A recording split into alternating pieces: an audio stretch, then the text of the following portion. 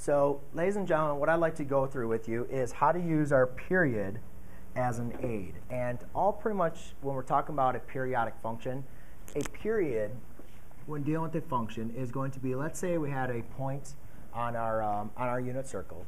If I add a certain value, and I get back my same, um, if I get same, same back value for my, for my point, then this is what we call periodic. So let me go and explain this a little bit more, maybe in terms of what we've already talked about. How about we talk about a coterminal angle? So let's look at this angle, right?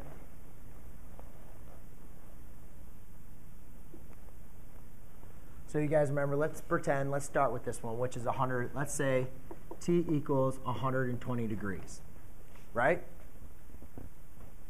Correct? Okay. Now, if I was going to go all the, if I was going to go t equals 180 degrees, but then I was going to continue that to find its coterminal angle, which would be what? Now, how would I find the coterminal angle? I'd have to add how much? Well, remember all the way around would have to be my add my 360, all right? So if I said my coterminal angle, which I could call t prime, would be add 360 would be 480 degrees.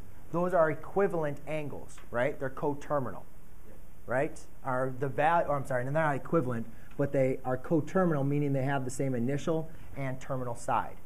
On the unit circle, remember last class period, we talked about on the unit circle, we talked about the point of where it intersects on a unit circle, correct? Since these are coterminal angles, do they intersect at our same point? Yes, because they have the same initial and terminal side, so they're going to intersect at the same point on the unit circle. Yes?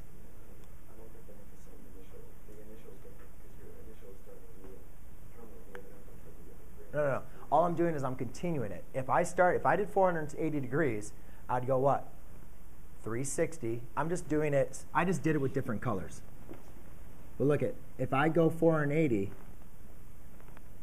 that's going to look something like that. That's 480 degrees. I just I just continued it with different colors. Yeah, I can see what you're talking about.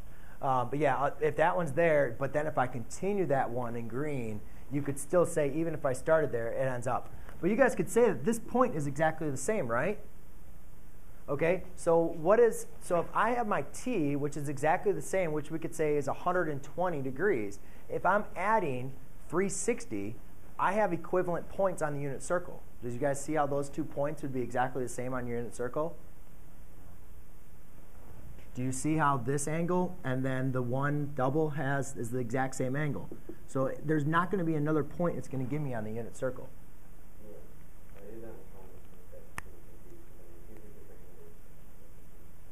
They have, yeah, they're going to provide you with the same point on the circle. Yes. For this point, it's going to be 360. Yes. All right. So what we're going to do is how how is this going to play into how, are we going to use this to help us with our homework?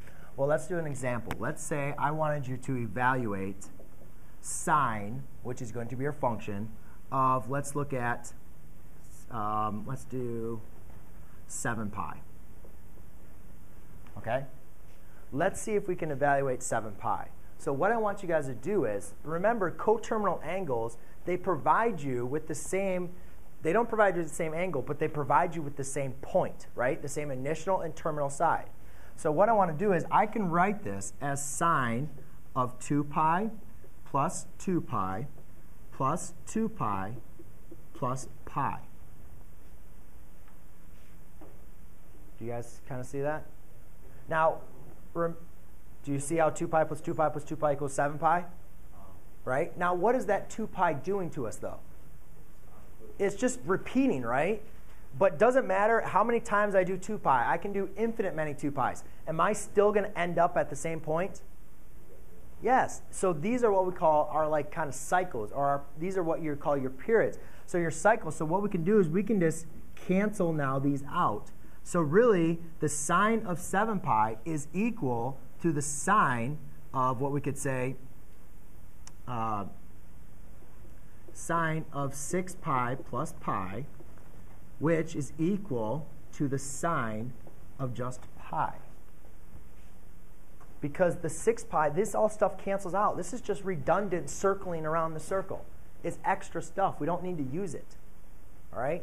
So what I want you guys to do is always, when you're trying to use period as an aid, if I say, hey, use period of an aid, or anytime you have an angle that is larger than 360 degrees or larger than 2 pi, all right, you can find your find the 2 pi and then cancel them out, take them out. Because now, how can I evaluate sine of pi? Well, where is pi? This is a different, obviously, this is a different problem. Um, so where's sine of pi? So the first thing we need to do, remember when I worked at your steps, the first thing you guys need to do is graph it. So how do I graph the angle pi? Well, remember you start here, and pi radians is going to be right there, right? When looking at the unit circle, what is this point? Negative 1 comma 0. And sine always relates to which coordinate as your coordinate point? The y. So therefore, sine of pi is going to equal 0. So if I asked you to find sine of 7 pi, rather than doing this, 1 pi, 2 pi, 3 pi, 4 pi, 5 pi, 6 pi, 7 pi, you're still going to get to the same point, ladies and gentlemen. Does that make sense? There's nothing wrong with going and doing that. 1 pi, 2 pi, 3 pi, 4 pi, 5 pi, 6 pi, 7 pi. I want you guys to understand, though, you can take out these periods because it's periodic. You can take these out and just evaluate for sine of pi. Okay? So it's not like a breakthrough of like, oh, a brand new type of problem, but it's kind of a way, a shortcut for you guys to think about these problems. Because let's take a look at another one. Let's take a look at a negative one. And maybe